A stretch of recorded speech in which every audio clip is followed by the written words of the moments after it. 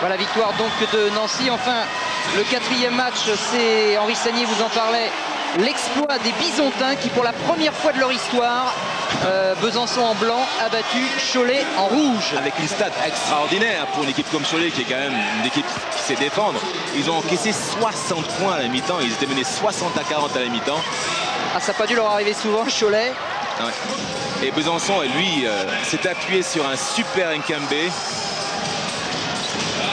Ah, qui a marqué 28 points. Exactement, ainsi qu'un super mix là qui euh, a su euh, apporter son, son énergie à la marque.